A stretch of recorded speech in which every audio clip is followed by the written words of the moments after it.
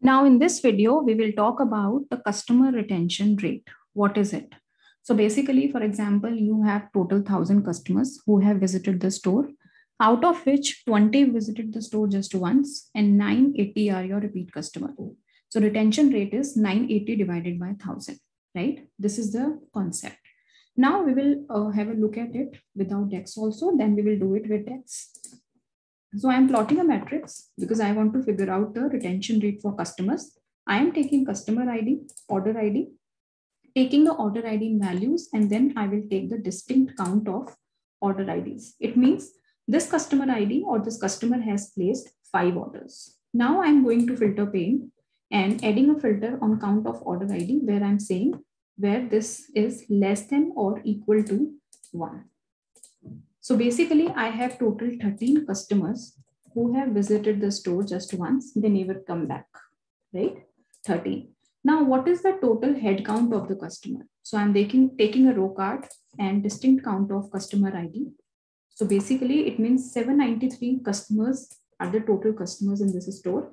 So 793 minus 13, it means 780 customers are my repeat customer and retention rate would be 780 divided by 793. Now how to solve it using measure, that is the question. So first measure we will write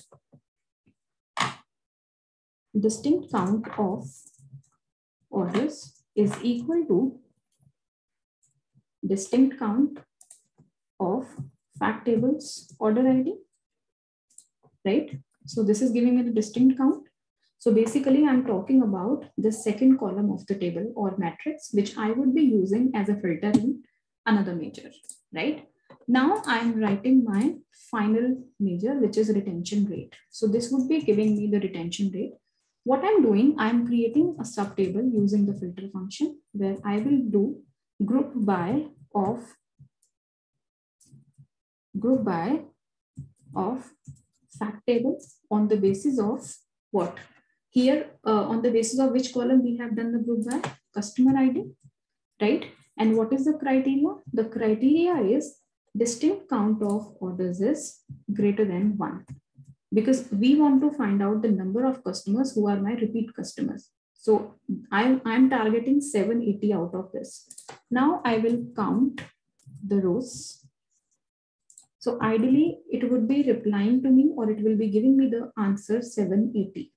Now I will divide it with the distinct count of customers. I can take it from customer table as well or fact table as well, right?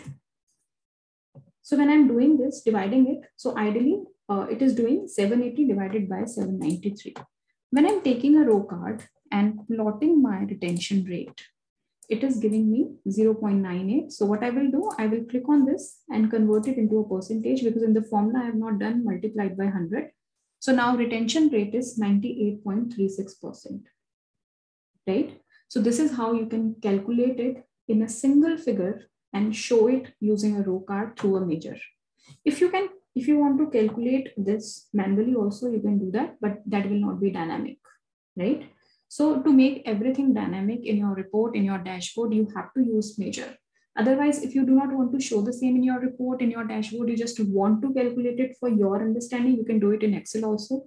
You can do it without measure also, like you are aware, 793 minus 13, 780, and you can divide it with, by 793 manually and you got the answer. But that cannot be shown on report and dashboard, and that will not be a dynamic. So this is the usefulness of measures that you can incorporate a lot of dynamic figures finally in your final report.